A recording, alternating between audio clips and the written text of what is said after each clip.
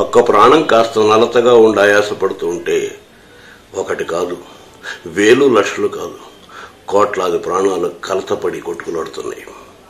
ఒక్క శ్వాసలో సరిగమల అపశృతిని సరిచేసుకుంటూ ఉంటే నా దేశపు ఊపిరి ఉక్కిరిబిక్కిరవుతోంది.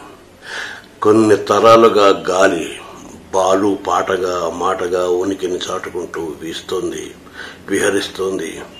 ఇప్పుడు ఎందుకో ఓ చిన్న వెంటిలేటర్ ఇరుకులో చిక్కుకుని విలవిల్లాడుతోంది. కొన్నాళ్ళుగా ఆకాశపు మౌనం కంటికి మింటికి ఏకధారగా రోధించి నిన్నటి నుంచే వెచ్చని సూర్యకిరణాలతో చెక్కిళ్ళు తుడుచుకుని కాస్త తెరిపిడి పడుతోంది. అన్నయ్య ఇంకా చాలు. ఎన్ని రోజులు నిశ్శబ్దంగా విశ్రాంతి తీసుకునే హక్కు అక్కర నీకు లేవు.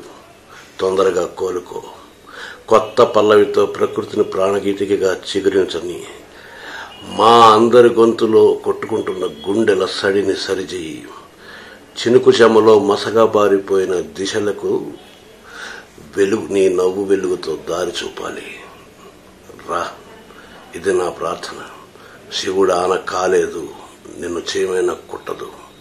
ఆ శివయ మీద ఆన నీ తమ్ముడు సీతారాముడు. ఇవాళ ఆరు గంటలకి నీ సంగీత కుటుంబం అంతా నీ సాహిత్య కుటుంబం అంతా ఆ పరమేశ్వరుడికి విన్నవించుకుంటూ ప్రార్థిస్తున్న ప్రార్థనలయ్యా ఇది. నీ దాకా చేరుతుందని నమ్మకం నాకుంది.